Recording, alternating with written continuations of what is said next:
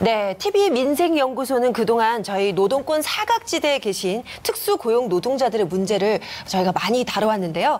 자, 그런데 이 특수고용 노동자들 아프거나 다칠 경우에 이 유급 휴가를 받지 못해서 사실 치료받기가 무척 두려우시다고요. 예, 그렇습니다. 이 하루 벌어 하루 사는 어, 일용직 근로자들 그리고 영세 사업자분들 역시 이런 어- 어려움이 있었는데 그래서 서울시가 나섰다고 합니다. 예. 네. 그 특수고용 노동자들만 그런 게 아니라요. 네. 우리 영세 장업자들도 네. 이러면 돈은 별로 없는데 아파. 그러면 병원 안 가버려요. 맞아요. 어떻게 그러니까 대신 누가 장사해 줄 사람도 그러니까 없고. 그러니까 그냥 아프면서도 그다음에 이게 이게 대신 일 사람도 없기도 하고 병원비 무서워서도. 그렇죠. 근데 이제 이걸 지원해 주는 제도가 있으니 얼마나 좋습니까? 네. 예, 그래서 오늘 전국 최초로 서울시가 유급병가 지원 정책을 시행했는데요. 어, 그 부분에 대해서 말씀해 주실 서울시 시민건강국 나백주 국장님 나오셨습니다. 어서 오십시오. 어서. 오세요. 일단 시민건강국도 서울시가 처음으로 만든 거 아닌가요? 시민건강국. 맞습니다. 예. 그 네. 시민들 건강에 굉장히 관심이 있어준 고맙고. 그다음 나백 국장님도 이른바 늘공 아니시죠? 네, 어쩌다 공무원 어공이시죠. 네, 네, 그렇습니다. 네, 밖에서 그렇습니다. 의사로 활동하시다가 네, 서울시의 이런 건강 정책에 맞게 들어오신 거죠. 아, 네, 맞습니다. 저- 그래서 예. 지금 의사 선생님이니까 소장님 궁금하다고 물어보실 거 있다고. 그러니까 제가 물어볼 거 많아요. 예. 서울시 시민은 네. 방금 전에 성면 문제 너무 심하게 가지고 네. 재건축 인들 학교 현장에 막 날리는 데가 있고 스레이트도 막 아직 성면이 있는데 아직도 남아 있는데 시민건강국이나 서울시 차원에서 신경을 더 쓰셔야 될 것 같은데 어떻습니까? 네, 저희 국은 직접적으로 그걸 소관하진 않지만 어쨌든 서울시 차원에서 좀 아마 좀 신경을 써야 되지 않을까 싶고 저도 관련 부서 그 국장님한테 한번 예, 말씀드리도록 이거 하겠습니다. 예, 꼭좀 건의해 주세요. 아유, 네, 가스- 믿습니다. 가습기 살균제 참사하고 이 성면 참사는 무섭네요. 무서워. 그러니까요. 예. 아, 자, 자, 그런데요. 저희가 앞서 말씀드린 대로 서울시가 전국 최초로 유급 병가를 지원한 제도를 시행하고 있는데요. 서울형 유급 병가 지원 제도. 자, 이게 또, 어, 이게 뭐야? 라고 생각하시는 분들을 위해서, 네, 어떤 제도인지 말씀해 주세요. 이 가장 중요한 거는 아프면 쉴 수 있는 권리를 보장한다는 것이 가장 중요한 것 같습니다. 네. 저희 뭐 직장인들 어느 정도 이제 뭐 저희 공무원들도 어느 정도 안정된 직장에 있으신 분들은 아프면은 그냥 병가를 내고 가서 치료받고 이렇게 하고 다시 복귀할 수가 있거든요. 네. 근데 이제 아까 잠깐 말씀하셨지만은 그 날마다 어떤 그런 그 벌이로 그 삶을 이어가셔야 되는 그런 근로체계층에 계신 분들은 이제 그 하루를 쉬게 되면 그야말로 그 날에 수입이 없어지니까 네. 생계가 힘들어지는 그렇죠. 그런 문제가 있습니다. 그러니까 치료비도 문제지만은 그 하루를 쉼으로써 생계비가 충당이 안 됨으로써 겪는 문제 때문에 버티고 계속 일을 하시는 그런 문제들을 저희가 많이 겪음으로 인해서 겹, 접함으로 인해서 아 이런 문제를 해결해 나가는 것이 필요하겠다 해서 네. 저희가 이제 전국회의체로 이걸 조입을 하게 된 것입니다. 그러니까 아파갖고 병원 가면 네. 네. 아무튼 소득이 확 줄어들어가지고 예. 아파도 병 못 가는 분들을 돕겠다는 거니까 너무 반가운 너무 제도인데요. 반가운 제도네요. 다만 그 지원 대상이 정해져 있을 거 아니에요. 네. 아파서 병원 가면 다 도와주시는 건 아니죠. 뭐, 네. 뭐 현실적으로 재정 문제 때문에 부자들까지는 못 도와주실 것 네. 같은데 네, 맞습니다. 어떻습니까?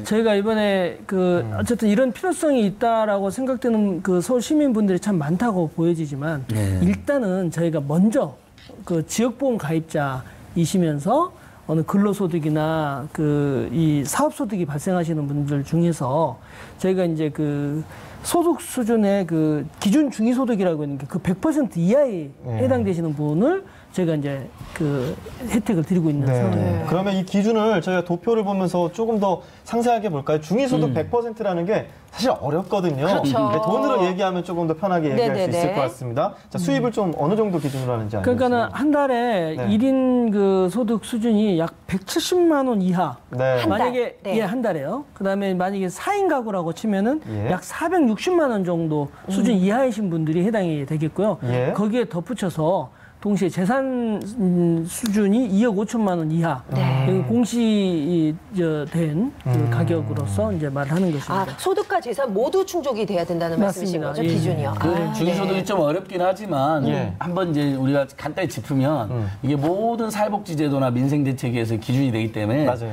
우리 국민을 어, 제일 돈 많이 있는 소득 많은 사람하고 제일 소득 없는 사람 일렬로 쭉 세웠을 때 딱 제일 가운데 중간에 네. 있는 게 네. 중위소득 100%. 예, 평균 맞습니다. 소득 말고 네. 평균 중간이 아니라 딱 중간이니까 예. 아. 여기 보면 예를 들면 중위소득의 100% 오늘 이거잖아요. 들면 중위소득의 120%, 음. 140% 그러니까 조금 더 버는 분들로 복지 대상에 있는 경우도 많아요. 뭐 청년제도라도 이런 거니까 우리 시청자들께서 꼭 한번 알아두시고요. 음. 그러니까요. 예. 저 그래서 이 소득과 재산 기준이 되는 네. 어, 근로나 뭐 사업 소득자. 네. 그런데 서울 시민이더라도 이런 분들 중에서도 또 제한이 되는 경우가 있다면서요. 네. 좀 어렵죠. 네. 근데 어, 어쨌든 그 신청하기 전에 석 달 이상 그 근로나 사업 소득이 있는 것이 이제 있어야 됩니다. 그 전에 전력이 있어야 네, 되는군요. 그리고 네. 또 이제 미용이나 성형, 뭐 출산, 뭐 이런 식으로 요양처럼 질병 치료 아닌 거는 저희가 또 혜택이 안 됩니다. 아, 예. 그래서 이게 좀 어려우실 수가 있는데 네. 가까운 보건소나 동 주민센터에 문의를 해주시면 아마 친절하게 안내를 해주실 겁니다. 네. 아니 근데 약간 유감인데 출산은 네. 우리 아이 낳는 게 얼마나 중요한데 출산이 빠진 좀 건좀 제보를 좋은데. 이거 대본에 없는 거지만 저는 그러니까요. 바로 바로 예. 물어봐버려요. 좀 확대해 주시기를. 근데 이제 이미 정부가 예. 출산 바우처라고 해가지고 아, 공무원. 카드로 해서 또 이미 지원을 하고 그렇지, 있는 그렇게 부분이 설명해 있습니다. 주셔야죠. 네. 선생님, 아까 또 하나 제가 물어볼 거 있었어요. 네. 지역가입자니까 그럼 직장가 입자는 일단은 안 되는 거네, 직장 보험 지금은 저희가 아닙니다. 하지만은 저희가 이번에 이 지역가입자분들 해서 신청이 많고 아 이런 수요가 많다.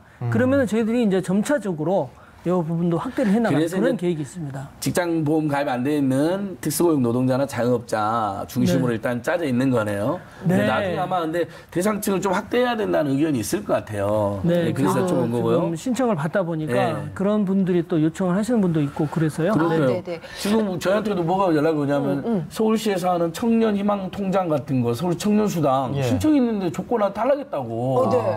막 박원순 시장 님한테 나한테 막 가서 하게 달라는 거예요. 청년들이 저한테 막 메일이 와 있어요. 오, 그래서 네네. 제가 늘 얘기하잖아요. 복지 정책은 그림의 떡이라는 그런 지적. 아니 탈락자들은 엄청 네. 속상해요. 그러니까 이건 네. 그렇죠. 오늘 원래 대본에 없는 거지만 우리 네. 국장님한테 한번 강하게 이야기해보고. 네, 그렇습니다. 물론 자, 그런데요. 뭐, 예. 제일 중요한 겁니다. 이거 제일 중요해요. 아까 얼마? 그, 그, 얼마인지도 너무너무 중요하고요. 저는 얼마, 얼마, 얼마, 얼마 받을 수 있는지. 예. 얼마인가요? 이것도 중요한데요. 그럼 일단 가격부터, 아, 가격이라뇨? 네. 금액부터, 네. 네. 지원되는 금액부터 여쭤보도록 하겠습니다. 저희가 지금 1년에 네. 토탈 11일, 검진 하루, 입원 10일 음. 해가지고 합쳐서 11일까지 지원을 해드릴 수가 있고요. 네. 하루에 그 일당 서울형 그 기- 기본 생활임금이라고 해가지고 음. 한 8만 천 원 가량을 오. 저희가 해서 1년 최대 합치면 한 89만 원 정도까지 지원 혜택을 받을 수가 있습니다. 그렇군요. 아우, 진짜. 저는 이 지원 이렇게 해주시는 거 얘기만 들어도 네. 좀 약간 든든할 것 같아요. 그리고 아, 네. 내가 하루, 이제는, 어. 네. 저는 하루 8만 천 원인 것도 너무 마음에 들어요. 아, 왜요, 왜요? 최저임금보다 더 주는 거잖아요. 그렇죠. 8초만 생활임금이니까. 30원을 팔로 곱하면 7만 원쯤인데 네. 그거보다 최저임금을 못 사니까 그보다 더 풍성하게 준다는 거 아니에요. 어. 얼마나 좋아. 이런 거 너무 서울시가 잘하는 것 이런 같아요. 좀 네. 꼼꼼하게 센스 있게 예. 이렇게 근데 다 뭐 해주시는 궁금하셨던 거예요. 나 궁금한 거 네. 어디에 어떻게 지원하는지가 중요하잖아요. 아, 그렇죠.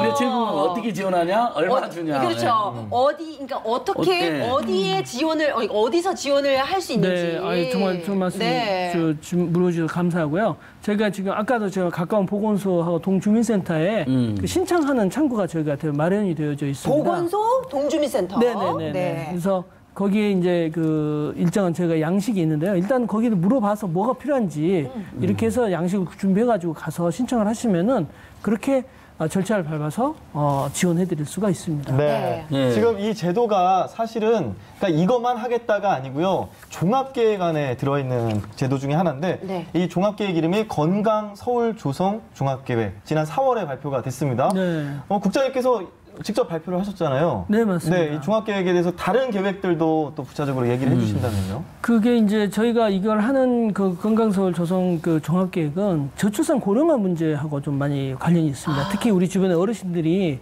많이 이제 그 늘어나고 있고 그분들의 이제 건강 문제가 심각해지고 있는데 그분들의 건강을 좀 찾아가서 그리고 가까이에서 평가를 해가지고 음. 뭐이 약 드시는 것, 식사하는 것, 그다음에 운동하시는 것 이런 걸 좀 종합적으로 할 수 있는 건강 돌봄 그 계획이라고 하는 것을 지금 만들었습니다. 네. 그래서 지금 일부 자치구에서 이제 시범적으로 하고 점점 확대해 나가고 있는 상황이고요.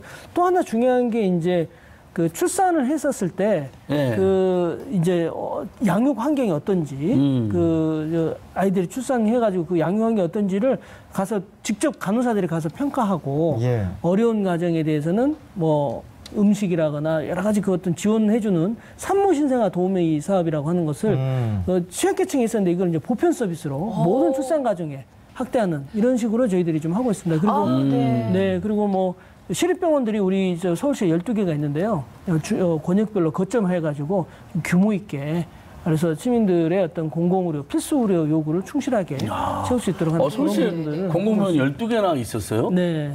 아, 근데 시립병원의 장점이 조금 일반 병원보다 저렴한가요?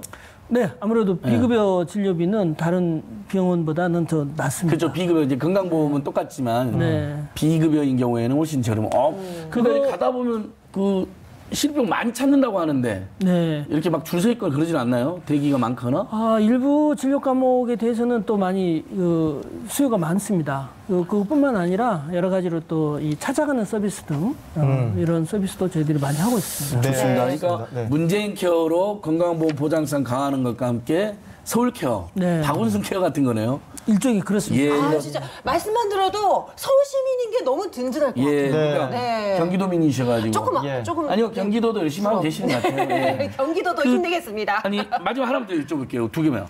그래서 많이 지금 이 그 유급병가는 지금 많이 하고 계세요? 신청이 들어오고 있어요? 아, 지금 지난, 지난달 6월 1일부터 시작을 그쵸, 했습니다. 예. 근데 신청이 별로 많이 없었는데, 네. 최근에 점점 문의가 많아지고 있는데요. 아무래도 이 뉴스를 보시는 분들이 주변에 좀 많이 알려주셔서. 아유, 걱정하지 네, 마시길 예, 예. 바랍니다. 저희가 확 그렇죠. 퍼뜨리겠습니다. 정말